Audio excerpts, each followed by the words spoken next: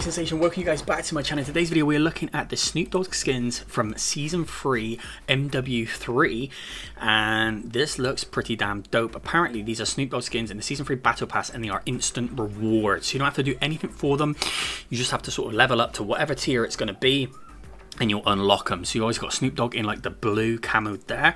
On the right hand side, he's actually a dog, and he's in like a gold format there. So I just wanted to show you guys that real quick that this has been leaked. Now Charlie Intel is leaking so much stuff right now. There is new weapons from Advanced Warfare. There is also more sniper rifles being added into the game. There is also a pack coming out on the mobile version as well. So it says mobile season three, Black Cell Battle Pass.